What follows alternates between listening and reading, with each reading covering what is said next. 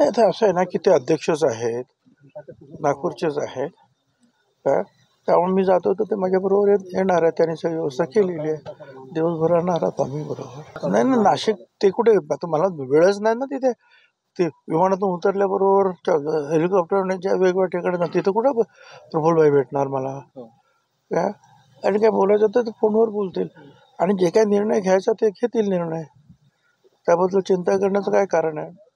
ज्यांचं ज्यांना तिकीट मिळेल त्याचं काम आम्ही महायुतीचे लोक करणार. हे अगोदरच मी सांगितलेलं आहे. नाही नाही नाही सर्व सर्व साधारणपणे विकास हा महत्त्वाचा मुद्दा आहे. काय?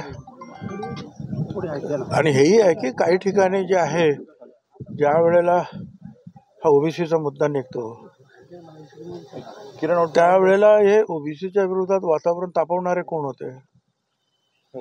कुणीही वातावरण तापवलं. कुणाच्या कारखान्यावर ह्या सगळ्या गोष्टी घडत होत्या? कोणी ताकद दिली? या सगळ्या गोष्टीचा उहापोह करता येईल ना?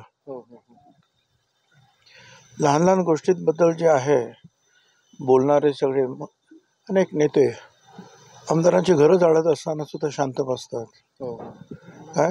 हे दुःख कसं काय विसरता येईल का लोकांना आम्हाला? अशा अनेक गोष्टी आणि तिथल्या काही लोकल असतील. अर्थात विकास हा महत्त्वाचा आहेच.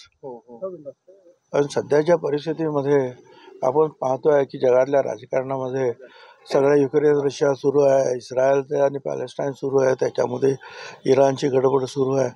अशा वेळा या अशा वेळेला देशामध्ये मजबूत नेतृत्वाची आवश्यकता निश्चितपणे आहे. अशा या सगळ्या गोष्टी मला तरी वाटतात की महत्त्वाच्या दिसतात.